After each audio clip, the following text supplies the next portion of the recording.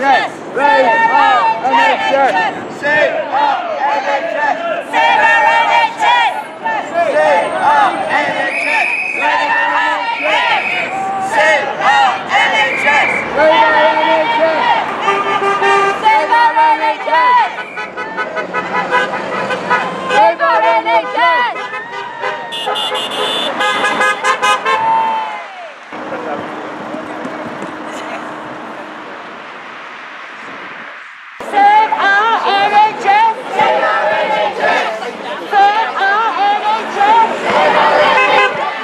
So much all of you for backing us all today. It's much appreciated and we do realise that it's a knock-on effect on all the hospitals around Chorley, Preston, Wigan, Leigh, Bolton and all the other ones as well.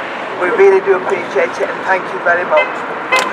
Thank you. And you think we've done well, but at Chorley Hospital every Saturday since that A&E closed, they've had a protest like this at the front gates and they're not going away.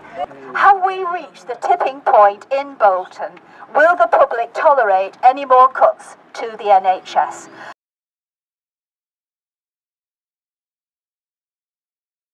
The figures speak for themselves.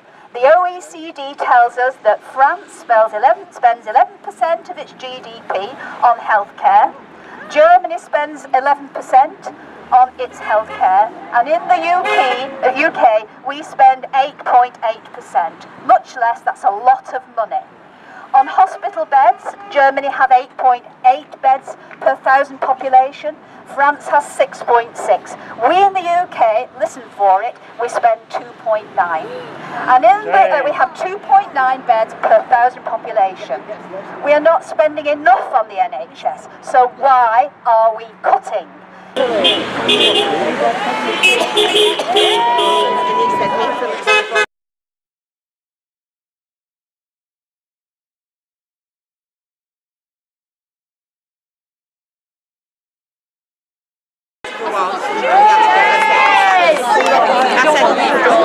Can you tell me why you've attended this event today? We've attended it because we feel passionately about the NHS. Um, the cuts that are taking place here are absolutely appalling.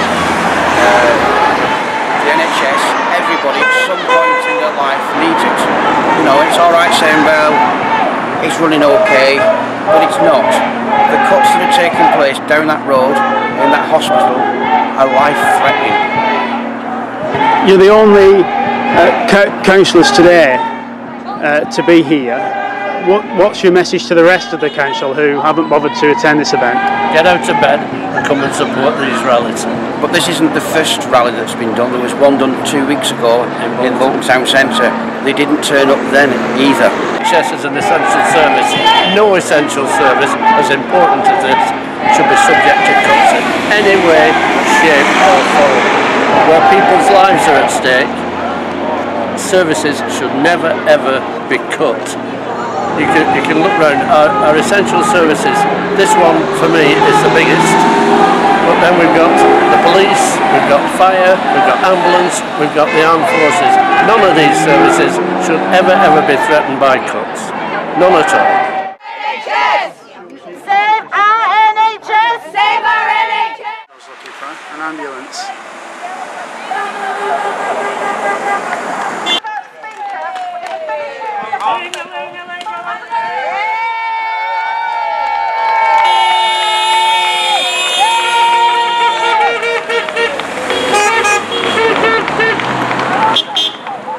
Well done, Bolton!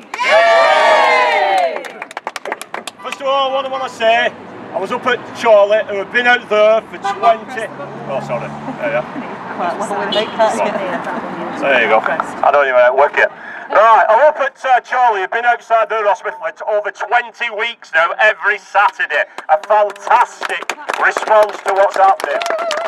But what I said to them was, the much overused Nye Bevan quote that the NHS will survive as long as there are good folk with the faith to fight for it. He didn't mention MPs, he didn't mention lords or profiteers, he mentioned good folk. And what he meant by that was you people.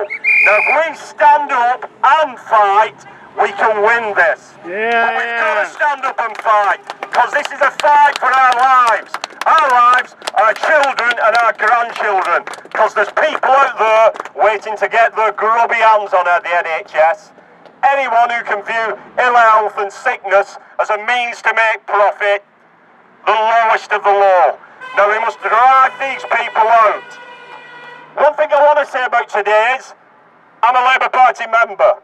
And everybody who is a Labour Party member today needs to go back and question their councillors why they're not here today. I want them here with us, alongside us. That's where they belong.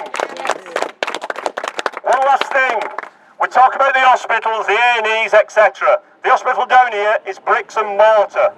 It's the people who work in those hospitals that provide the services and the care that we rely on and at times take for granted. Those people are working under enormous pressure. They work in fear. Many of these people work in fear. They're frightened to speak out. They need our support.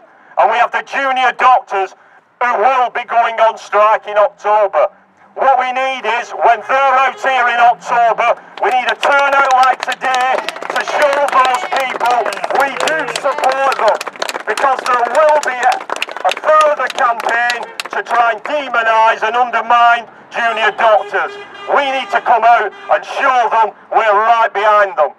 Thanks very much for coming today. Keep up the fight.